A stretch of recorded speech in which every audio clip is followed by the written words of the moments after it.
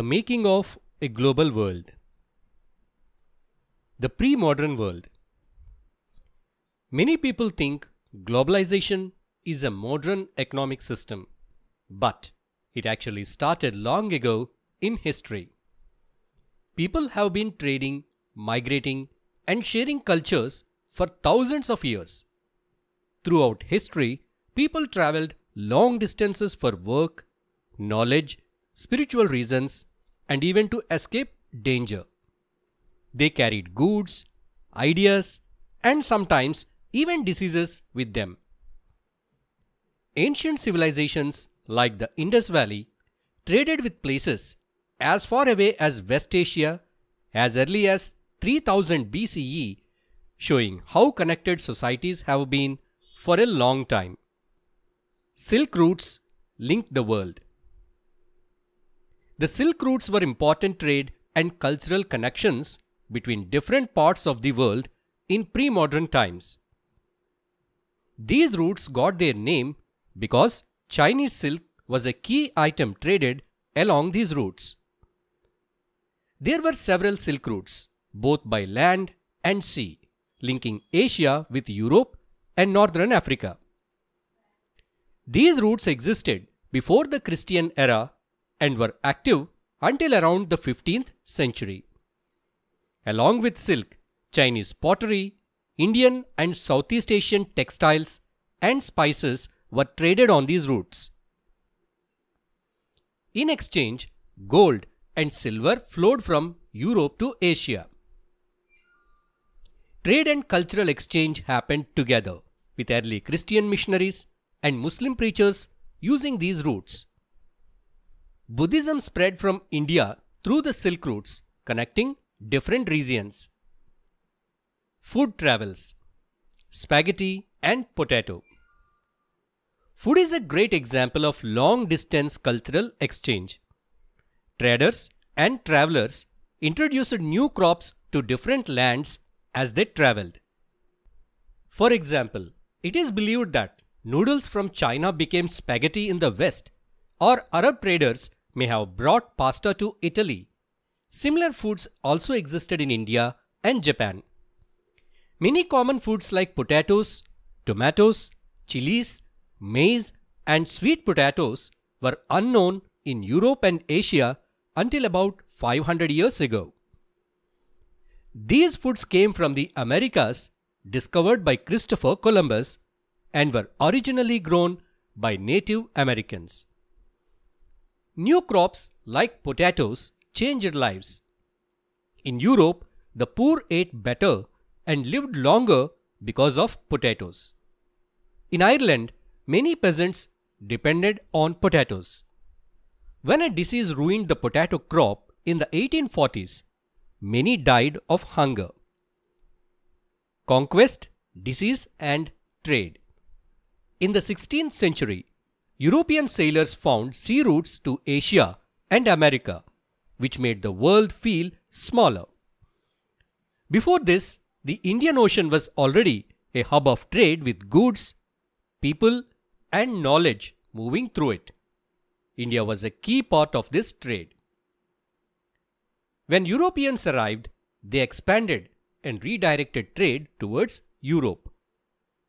America had been isolated from the world, but after the 16th century, its land, crops, and minerals changed global trade. Silver from Peru and Mexico made Europe richer and helped finance trade with Asia. Stories of South America's wealth, like the legend of El Dorado, attracted many explorers. The Spanish and Portuguese began conquering America in the mid 16th century. Their success wasn't just due to military power, but also diseases like smallpox, which devastated Native American populations who had no immunity to that disease. In Europe, poverty, hunger, and religious conflicts made life hard. So many people fled to America. By the 18th century, slaves from Africa were forced to work on plantations, growing cotton and sugar for Europe. Until the 18th century, China and India were among the world's richest countries, dominating Asian trade.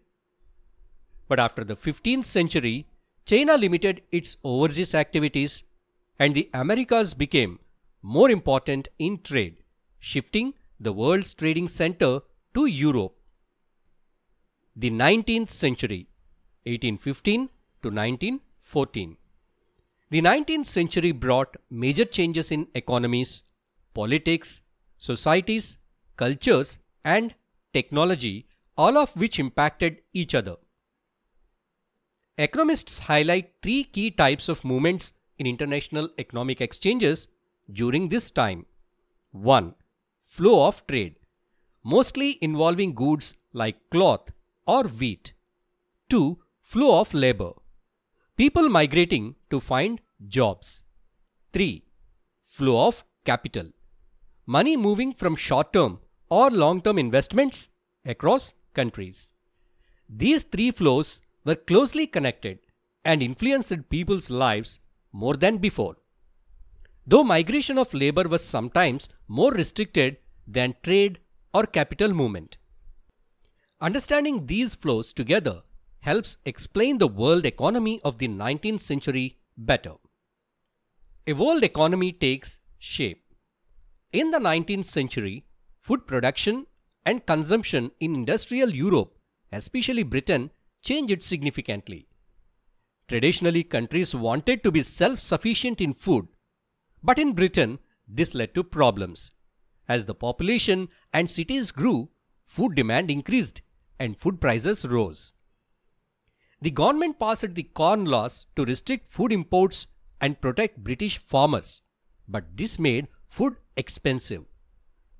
Industrialists and city dwellers protested, leading to the abolition of the Corn Laws. After this, Britain could import cheaper food and British agriculture couldn't compete. Many farmers lost their jobs and large areas of farmland were abandoned. People moved to cities or migrated overseas. As food prices dropped, people in Britain consumed more and demand for imported food grew. This increased food production in countries like America, Australia, and Russia. To support this, railways, ports, and settlements were built requiring capital and labor. Around 50 million Europeans migrated to America and Australia in the 19th century with 150 million people globally moving in search of better opportunities. By 1890, a global agricultural economy had emerged bringing major changes in labor, capital, technology, and the environment. Food was now grown far from where it was consumed, often on large farms by workers who recently migrated. Railways and ships transported the food with many low paid workers from southern Europe, Asia, Africa, and the Caribbean working on the ships. In West Punjab, the British Indian government built canals to turn semi-desert areas into fertile lands for growing wheat and cotton for export, known as the canal colonies. This global shift wasn't limited to food. Cotton production expanded to supply British textile mills and rubber production grew as well. World trade increased 25 to 40 times between 1820 and 1914 with about 60% of this trade being agricultural products like wheat and cotton and minerals like coal. Role of Technology Technology played a key role in transforming the 19th century world with inventions like railways, steamships, and the telegraph. These technological advances were driven by social, political, and economic changes such as colonization which led to better transportation systems like faster railways and larger ships. The trade in meat is a good example of how technology improved trade. Before the 1870s, live animals were shipped from America to Europe, but many died or became unfit to eat, making meat expensive. The invention of refrigerated ships allowed meat to be slaughtered in America, Australia, or New Zealand and shipped the frozen to Europe, lowering the shipping costs and meat prices. This made meat more affordable for the poor in Europe, improving their diets and promoting social stability.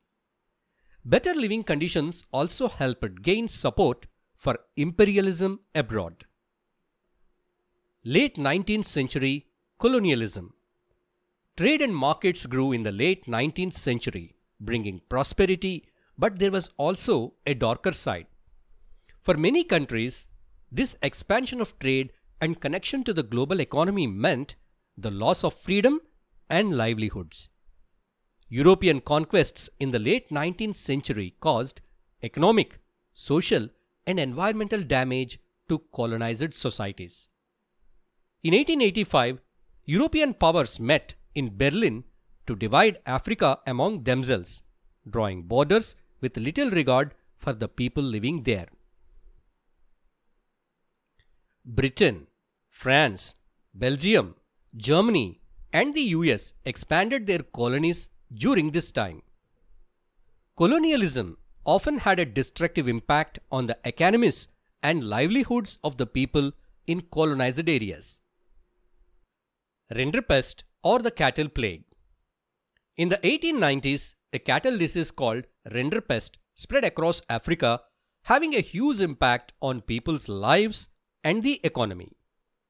Africa had lots of land and cattle and most people did not work for wages because they relied on their land and livestock for survival. Europeans wanted Africa's resources like land and minerals for plantations and mines, but there weren't enough people willing to work for wages. To solve this, Europeans imposed heavy taxes and changed inheritance laws, forcing people to work for wages.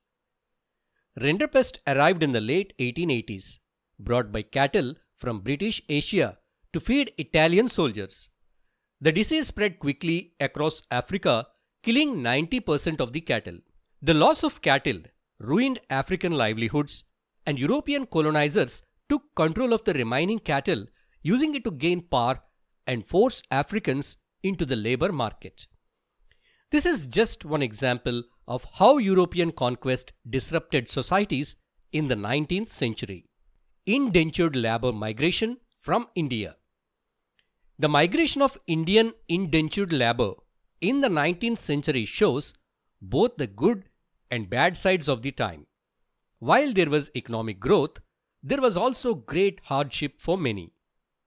Hundreds of thousands of Indian and Chinese workers were sent to plantations, mines, and construction projects worldwide, working under contracts that promised to return them to India after five years.